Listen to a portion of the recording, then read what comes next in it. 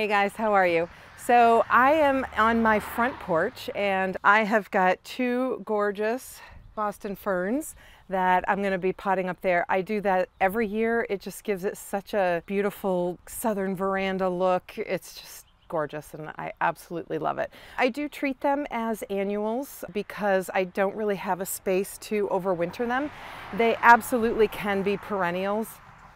And one year, I think last year or the year before, I actually dug them out of there and cut them into several sections. I gave some away, I kept some, and I just am not in the mood to do that this year.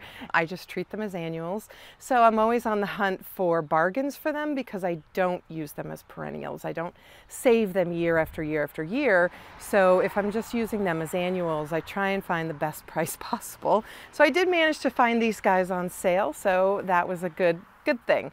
The other things that I'm going to plant up are my hanging baskets. They're also watered by drip irrigation, which is really great. Once I get these planted up and hung, I'll show you how I set up the drip and how it just kind of comes down into the basket. So it's really cool the way it's set up. So these are my baskets right here, kind of a gray patina.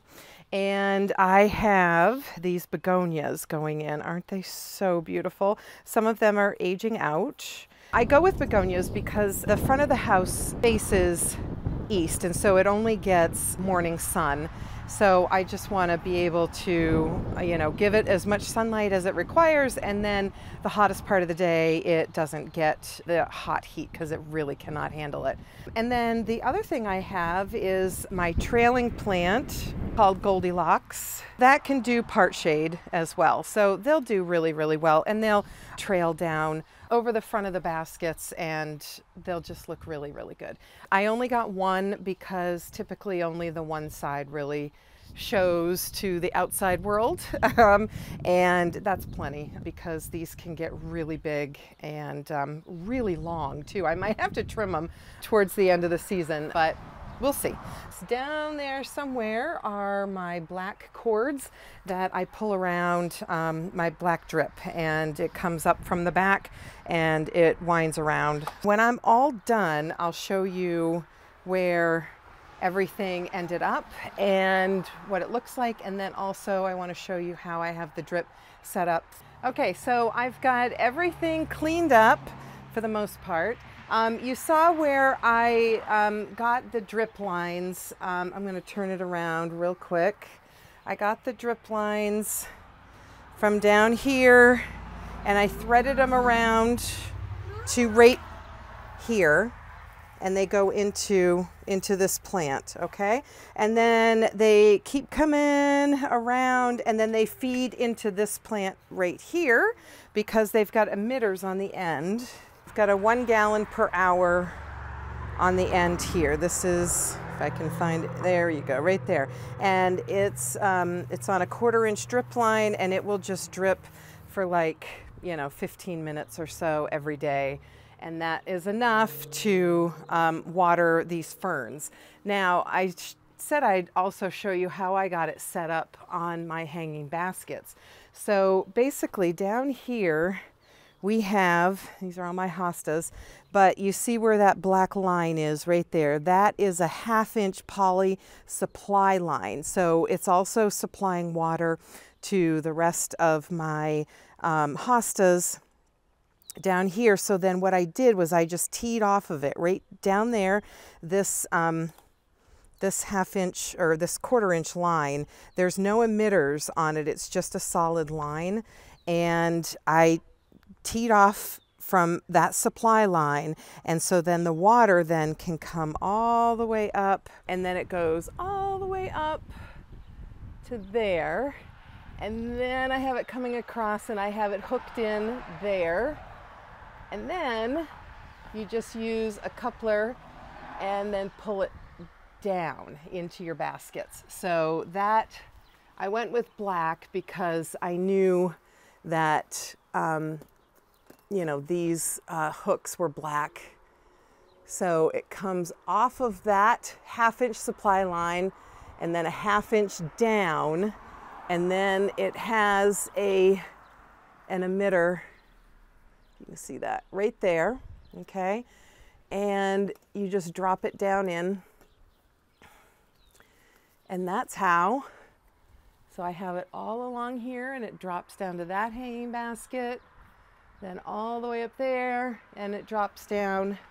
And then I have it coming all the way across to there and then I have an end plug on the end or it's called a goof plug and it just ends the supply line because if I wanted to, I could keep it going and come over here and put another hanging basket here. Yeah, so I'm happy that's done and I'll be on to the next. I've got, um, I've got some sunflowers, some little short sunflowers I want to plant up. Oh, and I want to show you some other things that I have now. Uh, yesterday, I got a 10 pack shipped of more boxwoods. So I have 10 of them and my dad just took out um, a huge bush there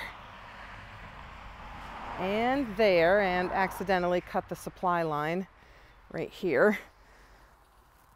So we'll need to do some mending, um, but that's not a big deal.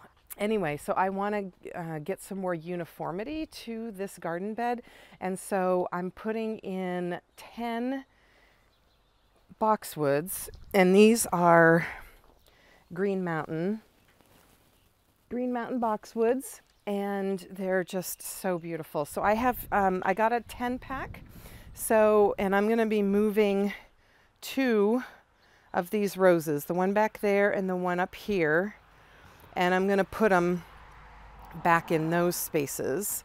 And then I'm going to keep this one where it is and cross my fingers that they don't shock and die because aren't they just spectacular?